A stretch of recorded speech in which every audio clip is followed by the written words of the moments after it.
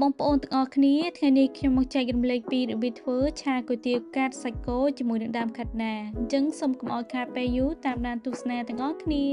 ឥឡូវនេះខ្ញុំធ្វើការកាត់គុយទាវចំហុយគុយទាវកាត់របស់យើងកាត់ជាបន្ទះស្ដើងស្ដើងកុំឲ្យវាតូចពេក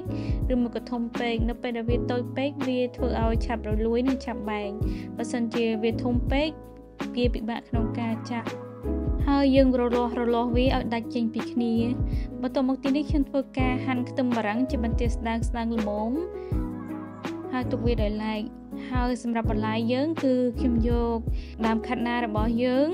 ហាន់ជាបន្ទះស្ដើងស្ដើងល្មមហើយទុកវាដោយឡែកហើយខ្ញុំចិញ្ច្រាំខ្ទឹមសប្រហែលជា3 4កំពឹសសម្រាប់ឆាឲ្យវាឈ្ងុយសម្រាប់គ្រឿងយើងវិញយើងមានទឹកស៊ីអ៊ីវធម្មតា ហើយនឹងទឹកស៊ីអ៊ីវខាប់ទឹកស៊ីអ៊ីវខាប់ធ្វើឲ្យឆារបស់មានពណ៌ស្អាតល្អហើយយើងដាក់ប្រេងខ្យងមកប្រេងខ្យងបងប្អូនដាក់ប្រមាណក៏បានដែរស្រាប់តែចំណងចំណុចចិត្តបងប្អូនហើយខ្ញុំដាក់ម្សៅស៊ុបបន្តិចឬមកក៏ប៊ីចេងក៏បាន យើងកូរលាយវាសពទុកវាដោយឡែកហើយយើងធ្វើការហាន់ សាច់គោរបស់យើងជាបន្ទះស្ដើងស្ដើងហើយយើងធ្វើការហាន់វាហាន់ជាទទឹងដើម្បីឲ្យសាច់គោរបស់យើងគឺផុយល្អហើយឥឡូវនេះខ្ញុំយកទឹកគ្រឿងរបស់យើងដែលលាយហើយនេះយើងយកលាយជាមួយនឹងសាច់គោរបស់យើងហើយយើងដាក់ baking soda បន្តិចមកដើម្បីឲ្យសាច់គោរបស់យើងគឺផុយល្អហើយយើងច្របល់ចូលសពល្អជាមួយនឹងសាច់ហើ យធ្វើការច្របល់វាឲ្យសព្វល្អហើយយើងធ្វើការទុកវារយៈពេល5-6នាទីឬមួយក៏ឆាភ្លាមក៏បានឬមួយក៏ទុកមួយយប់ក៏បានដែរហើយយើងធ្វើការដាក់ម្សៅឆាឬមួយក៏ម្សៅពោតលាយជាមួយនឹងសាច់គោដើម្បីឲ្យវាស្រួយនៅខាងក្រៅហើយនឹងទន់ខាងក្នុងនៅក្នុងសាច់គោហើយយើងដាក់ប្រេងឆារបស់យើងឲ្យវាក្តៅបន្តិចយើងយកសាច់គោនេះយកទៅលីងប្រហែលជា3-4នាទីដើម្បីឲ្យសាច់នោះឆ្អិនល្អ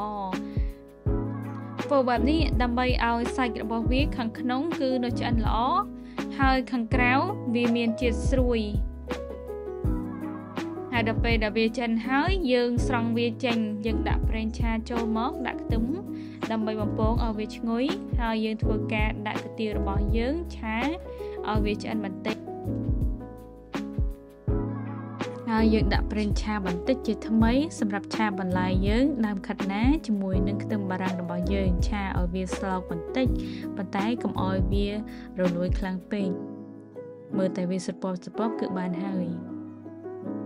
ហើយយើងធ្វើការដាក់កាទៀវរបស់យើងចូលច្របល់វាបន្តិចកុំឲ្យវាជាប់គ្នាជាដុំដុំហើយយើងធ្វើការដាក់ ទឹកគ្រឿងរបស់យើងដែលយើងលាយហើយនោះយើងធ្វើការឆាវាប្រហែលជាមួយនាទី ដើម្បីឲ្យវាចូលសព្វល្អហើយយើងដាក់បន្លែរបស់យើងដាក់ស្លឹកគឺដាក់ក្រោយគេកុំឲ្យវារលួយពេកហើយយើងឆាច្របល់វាឲ្យសព្វល្អហើយមើលទៅបន្លែរបស់យើងចិនហើយយើងធ្វើការដាក់សាច់គោរបស់យើងចូលឆាជាមួយគ្នានេះផងដែរ របៀបនេះគឺឆ្ងាញ់មែនទែនហើយវាអត់ជាប់គ្នាដុំដុំទេគុយទាវរបស់យើងគឺល្អបន្លែរបស់យើងគឺល្អហើយនឹងសាច់គោក៏ល្អដែរធ្វើបែបនេះគឺយើងមិនធ្វើឲ្យវារលួយខ្លាំងពេកហើយជាចុងក្រោយនេះខ្ញុំធ្វើការដាក់សណ្តែកបណ្ដុះហើយនឹងស្លឹកខ្ទឹមដើម្បីបន្ថែមរសជាតិហើយកុំឲ្យវាឆ្អិនពេកវាស្រួយស្រួយល្អហើយដាក់ម្រេចដើម្បីឲ្យវាចាប់ជាតិល្អហើយយើងធ្វើការភ្លក់ ឆារបស់យើងត្រូវការបន្ថែមគ្រឿងអ្វីផ្សេងទៀតប៉ុន្តែខ្ញុំគឺល្មមហើយអញ្ចឹងសូមអរគុណបងប្អូនអរគ្នាសម្រាប់តាមដានទស្សនានេះសូមទស្សនាវីដេអូក្រោយទៀតជម្រាបលា